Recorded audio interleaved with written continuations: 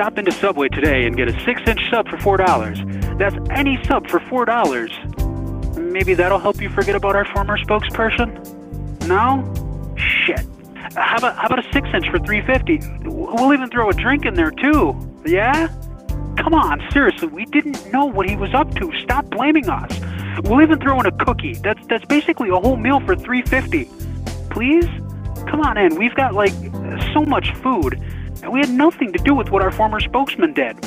We'll give you a bunch of food if you just stop in and say, "Hey, you don't even have to pay us." This is a limited time offer because we only have a limited amount of time left before we run out of money at this point. So please come in and hang out. You, you don't even have to eat the food, just be there so it looks like people are in our stores. Seriously, we had no idea. So stop in today.